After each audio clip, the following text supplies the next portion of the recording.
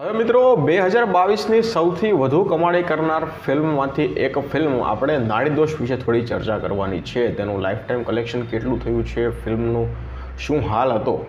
Film hit હતી flop હતી superhit હતી, કેટલો પ્રોફિટ થયો છે, એના વિશે આપણે ચર્ચા કરવાની છે નાડીદોષ વિશે. હવે તમને નાડીદોષ વિશે હું પહેલાં જણાવી દઉં. કૃષ્ણદેવ યાજ્ઞિક આ ફિલ્મના ડિરેક્ટર છે.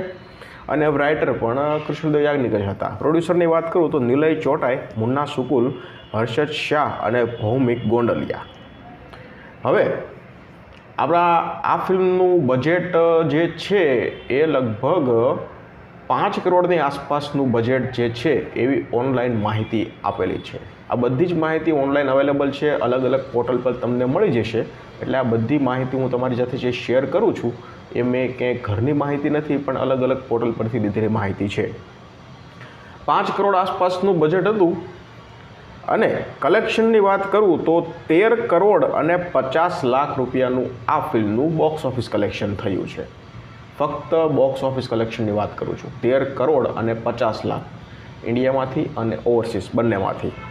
હવે જો ઓટીટી રાઇટ્સ મ્યુઝિક રાઇટ્સ અને સેટેલાઇટ રાઇટ્સ આ ત્રણ રાઇટ્સના પણ અલગથી જે કલેક્શન થયું છે, એ કેટલું થયું છે એનું કોઈ ઇન્ફોર્મેશન નથી.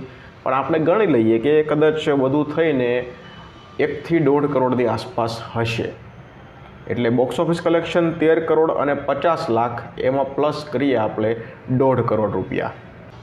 એટલે ટોટલ કલેક્શન થઈ જાય છે પંદર કરોડ રૂપિયા. બોક્સ ઓફિસ કલેક્શન પ્લસ અલગ અલગ રાઇટ્સ વેચીને પંદર કરોડ રૂપિયાનું કલેક્શન થાય છે.